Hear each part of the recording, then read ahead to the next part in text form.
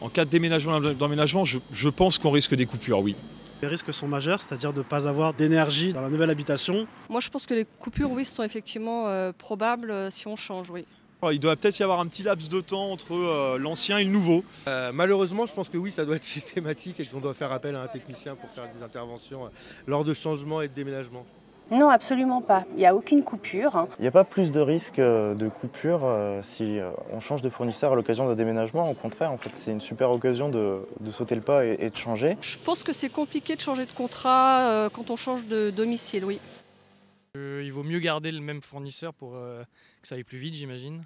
Je pense qu'on est obligé de conserver, euh, c'est plus simple de conserver le même fournisseur. Il faut mieux ré récupérer le contrat de l'ancien locataire, ouais.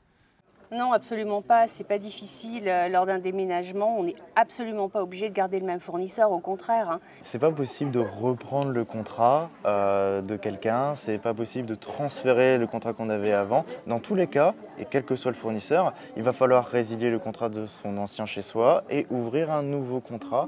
C'est sans frais, sans coupure, sans intervention sur le compteur.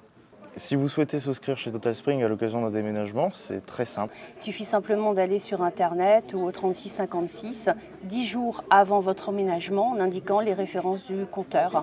On s'occupera directement de votre inscription et également de l'activation de votre ligne, ce qui évitera pour vous les coupures et vous permettra d'avoir de l'énergie directement arrivée dans le logement. C'est moins cher dès le départ, moins de 10% par rapport au tarif réglementé.